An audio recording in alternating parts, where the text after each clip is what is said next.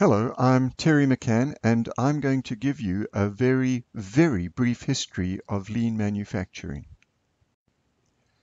In 1574, King Henry III of France was invited to watch the construction of a complete naval galley from start to finish in less than an hour at the naval arsenal in Venice, established in 1104 to build warships for the Venetian navy.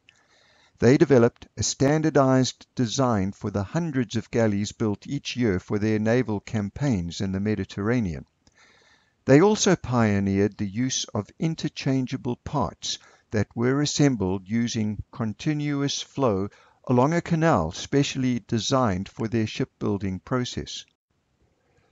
Fast forward to 1913, Henry Ford was the first to integrate an entire production process he combined interchangeable parts with standard work processes at stations along a moving conveyance, creating flow production, as he called it.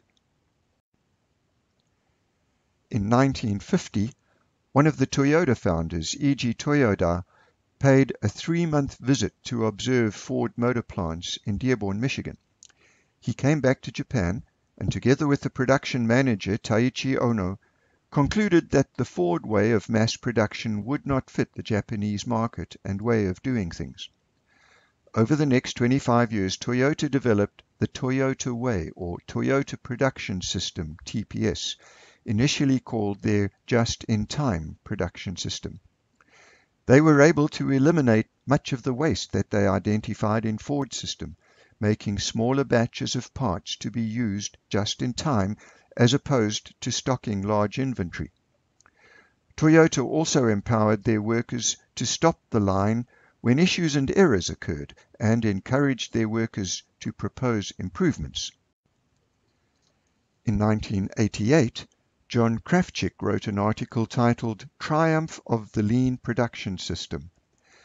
This was the first use of the term lean in this context, much of the article is an analysis of lessons learned from Ford, Toyota, and the GM Toyota joint venture, and a comparison with other auto manufacturers of the time.